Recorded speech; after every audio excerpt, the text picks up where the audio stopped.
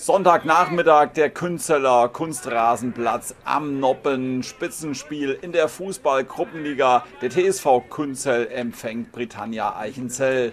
Die Britannen, die sind schon deutlich vorne, wollen heute weiter punkten, können ihren Vorsprung an der Tabellenspitze auf sieben Punkte ausbauen. Die Künzeler, die liegen elf Zähler hinter Eichenzell und wollen natürlich heute mit einem Dreier noch einmal näher an den Konkurrenten herankommen kommen.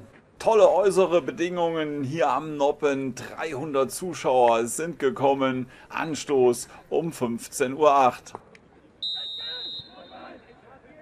Die vierte Spielminute, die Gastgeber im Angriff. Martin Raschik, dann David Bettendorf auf der linken Seite, bringt den Ball nach innen und Sebastian Kress völlig frei vor dem Tor. Der bringt den Ball aber nicht im Kasten unter. Knapp zehn Minuten später jetzt die Gäste im Angriff. Lukas Heil auf Abdullah Öcuvaci. Öcuvaci mit der Flanke. Matthias Heumöller mit der Direktabnahme, aber da steht Julian Röder im Weg. Und dann hat Künzels Keyboard Daniel Bräunung den Ball. Jetzt eine knappe Viertelstunde gespielt. Freistoß für Künzel. Andreas Becker auf den Kopf von Alexander Scholz. Und der trifft nur den Pfosten.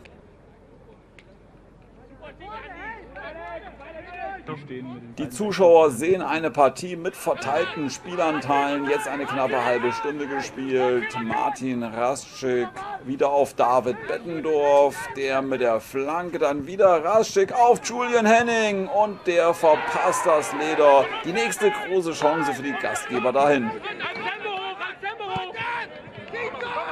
Zehn Minuten später Dominik Schlag auf Keeper Christian Kirbus, der zurück, trifft aber einen Künzeller. Dominik Schlag dann nochmal auf David Bettendorf, der zieht einfach mal ab und trifft. Die 38. Spielminute. Künzel führt mit 1 zu 0. Mit der 1 zu 0 Führung der Gastgeber, die nicht unverdient ist, geht es dann auch in die Pause. Kurz nach dem Seitenwechsel. Ballgewinn der Eichenzeller. Abdullah Öcuvaci auf Lukas Meyerhof. Meyerhof vorbei an Daniel Bräunung. Der Ball ist im Kasten. Die 48. Spielminute. Es steht 1 zu 1. Dann Minute 55, wieder ein Freistoß für Kunzel, wieder Andreas Becker, wieder Kopfball Alexander Scholz und diesmal ist Eichenzells Torwart Christian Kirbus zur Stelle. Eine Viertelstunde später wieder die Gastgeber Sebastian Kress auf der rechten Seite. Kress nach innen, Julian Henning mit der Direktabnahme, frei vor dem Kasten, aber neben das Tor. Wieder zwei Minuten später, Ballverlust der Gastgeber, dann Jonathan Müller auf Gabriel Müller. Der bringt den Ball nach innen zu Abdullah Öcuvaci und der trifft in der 72. Minute, führt Eichenzell mit 2 zu 1. Nach den vielen Künstlermöglichkeiten jetzt also die Eichenzeller Führung. Dann noch einmal Künzel in der 78. Minute. Eckball Martin Raschik, Kopfball Alexander Scholz und diesmal klärt George Kittagenda.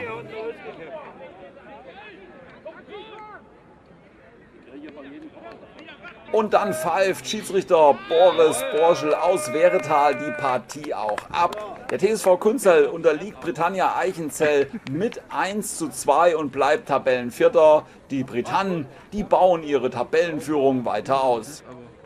Sehr, sehr starkes äh, Künzel gespielt haben, äh, die uns alles abverlangt haben. Und äh, wenn man nicht das Glück hat, äh, gewinnt heute äh, ganz klar Künzel, äh, weil wir viel falsch gemacht haben, aber dann halt in der zweiten Halbzeit zum Glück Moral bewiesen haben. Aber äh, na, ein durchaus sehr, sehr glücklicher Sieg.